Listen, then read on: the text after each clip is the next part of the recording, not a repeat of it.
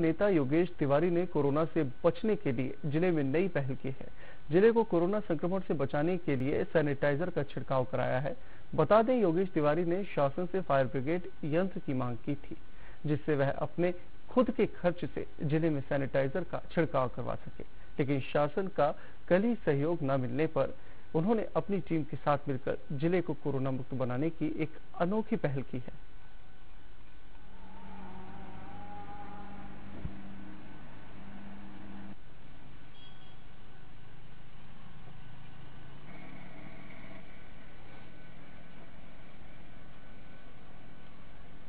हम लोग आज जो पूरे विश्व में जो कोरोना वायरस से आज जो हम लोग संक्रमित, चारों तरफ़ जिस तरह से लोग फैल रहा है और लोग बीमारी से ग्रसित हो रहे हैं, हमारा छत्तीसगढ़ तो फिर भी आज इस बीमारी से अभी अछूता है, लेकिन कोई भी इंसान इसमें इसके संक्रमित में आ सकता है, इसलिए हम लोग आज इस सैनिटाइज करने का अभियान हम लोगों ने चलाया है।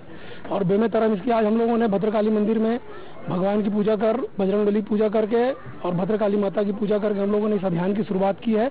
और पूरे बेमेतरा में हम लोग अपने स्वयं के खर्चे से हम लोग सैनिटाइजर कर रहे हैं। कोरिया जिला